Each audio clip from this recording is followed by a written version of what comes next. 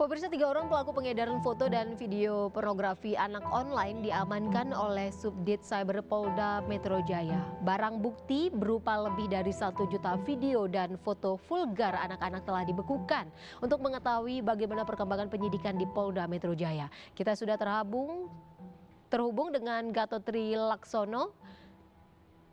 Selamat siang Gatot, bagaimana perkembangan penyidikan di Polda Metro Jaya saat ini?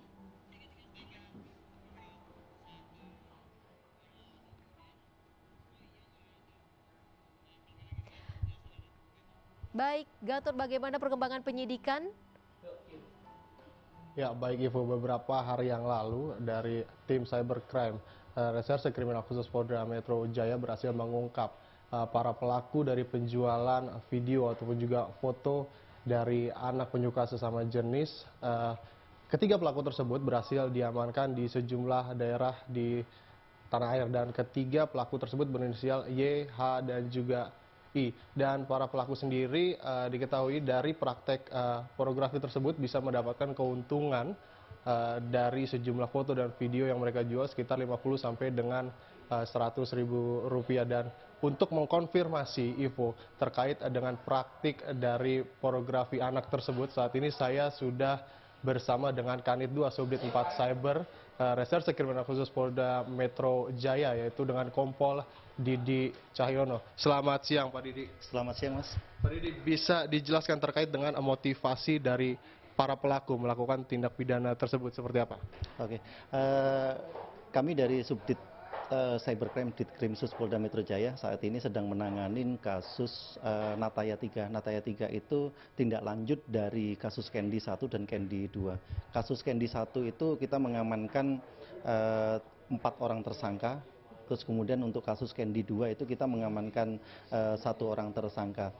Uh, kemudian untuk yang di uh, Nataya 3 ini dari bulan September, di bulan awal bulan September ini kita mengamankan uh, tiga orang tersangka di daerah yang berbeda, yaitu di daerah Purworejo, kemudian di Garut dan di Bogor. Itu.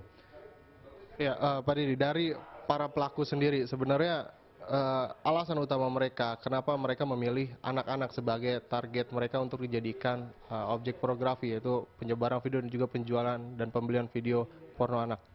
Uh, baik, dari tiga orang tersangka ini ya, setelah kita interogasi, motivasi mereka uh, melaksanakan ini adalah yang pertama adalah kebutuhan ekonomi, yang mana yang bersangkutan di dalam grup itu kemudian mensosial, me, apa, men, uh, mensosialisasikan ke grupnya itu menjual ya menjual uh, video antara lim, uh, 50 ribu, 100 ribu ataupun 100 ribu dengan cara bisa ditransfer ataupun bisa di uh, melalui uh, kiriman pulsa. Itu alasan yang pertama, alasan ekonomi. Dari salah satu tersangka itu kita interogasi yang bersangkutan dalam satu bulan itu bisa meraih keuntungan antara 6 juta sampai 10 juta. Kemudian motivasi yang mereka yang kedua yaitu untuk memenuhi kebutuhan uh, seks kebutuhan seks maupun kebutuhan imajinasi seks gitu. Baik, terima kasih banyak uh, Pak Didi. Uh, jadi Ivo, uh, para pelaku memang uh, menargetkan anak-anak sebagai objek untuk bisa meraih keuntungan, di mana keuntungan yang mereka dapatkan bisa melebihi dari 6 juta. Kembali ke Anda Ivo. Terima kasih Gatot atas laporan Anda. Selamat bertugas kembali. Dan pemirsa bahaya pedofil di media sosial menjadi tema kita di siang hari ini. Saya sudah bersama ketiga narasumber saya. Ada Kombes Pol Awi Setiono selaku Kabak Mitra Biro Penmas Mabes Polri. Lalu ada Ibu Margaret Aliatul Maimuna selaku Komisioner KPAI Bidang Napza, Pornografi dan Cybercrime. Dan juga Ibu Devi Rahmawati selaku pengamat sosial. Saya sapa terlebih dahulu tamu-tamu saya. Pak Awi, Ibu ya, Margaret, Bu Devi. Ya. Assalamualaikum. Apa kabar? Waalaikumsalam sehat semua ya. Uh, saya ke Pak Awi terlebih ya, dahulu ya. Ini bagaimana pihak kepolisian akhirnya bisa mengendus uh, aksi ketiga tersangka yang sudah uh, ditangkap ini, Pak Awi? Ya memang ini berkat laporan masyarakat juga Mbak. Ya memang walaupun uh, tim kami dari Polda Metro dan Mabes Polri juga melakukan uh, patroli siber ya. Masukan-masukan uh, dari semua pihak ini sangat membantu. Termasuk di Bumas juga. Di sana ada siber patrol juga, membantu. Ada masukan-masukan. Bahkan kami pun pernah juga meng-share kepada teman-teman uh, siber sendiri eh, terkait dengan eh, informasi dari masyarakat terkait dengan eh, pornografi anak ini. Memang tiga tersangka yang menjadi pelaku atau ada pengembangan lain nantinya yang mungkin bisa bertambah eh, pelaku lain begitu? Tidak menutup kemungkinan karena ini masih operasi Nataya 3 ini masih berjalan kan, masih berjalan. Kemudian memang baru tiga ini yang bisa dipetakan. Kan mereka juga eh, tidak tidak mudah ya dalam artian mereka juga sudah tahu bahwasannya polisi bergerak. Tiga Namun tersangka demikian- ini pelaku utama ya Pak Awi? Ya pada intinya ini eh, mereka pemain-pemainnya ya. Mm-mm. Nah, dan tidak menutup kemungkinan banyak masih ini banyak karena memang ada ratusan ribuan orang di sana yang member-member mereka ya kalau kita menggunakan undang-undang ITE siapa pun yang mentransmisikan terkait dengan apa konten-konten yang berbau eh, kesusilaan tentunya mereka juga akan terjerat undang-undang tersebut. Baik, saya ke Ibu Margaret dari KPAI. Kalau kemarin kita dikejutkan dengan anak-anak yang menjadi korban obat ilegal, lalu sekarang kita kembali dikejutkan anak-anak masih eh, eh, menjadi korban pornografi, pelecehan seksual. Ini sebenarnya bukan yang pertama ya Ibu Margaret. KPAI melihat kasus ini seperti apa? Eh, jadi hari ini itu trennya memang kasus-kasus kejahatan seksual itu mulai dari media sosial.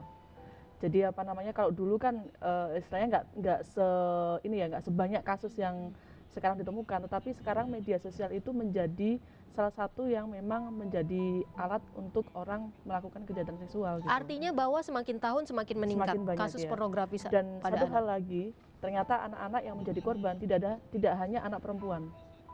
Kalau dulu kan kita cenderungnya memprotek anak perempuan ya Mm-mm. dari kasus kejahatan Mm. seksual gitu ya.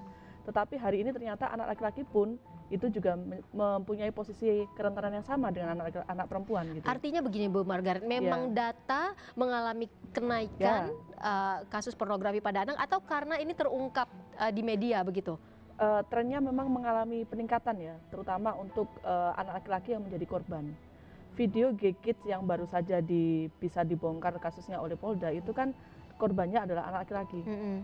Gitu karena itu kan G Hmm. perilaku eh, sosial menyimpang gitu ya di situ. Tapi ini bukan berarti serta merta kita langsung membiarkan anak perempuan karena Ya, bisa jadi balik ya, kembali begitu ya. ya. Kalau dulu trennya adalah anak perempuan, Perempuan. sekarang uh, beralih bergeser menjadi anak dan laki-laki. tidak berarti bahwa anak perempuan menjadi lebih aman gitu Mm-mm. ya. Artinya anak-anak kita baik laki-laki maupun perempuan harus mendapatkan proteksi yang sama dari kita dari berbagai tindak kejahatan seksual. Baik, saya ke Ibu Devi selaku pengamat sosial. Eh, bisa dibilang di mana-mana ketika nongkrong di restoran, di kafe, anak ibu semuanya pegang handphone. Di rumah kita juga menemukan anak ibu pada pegang handphone ibunya. Orang tuanya tidak menyalahkan ibu ya, orang tua pegang sibuk dengan handphonenya sendiri, anaknya juga seperti itu.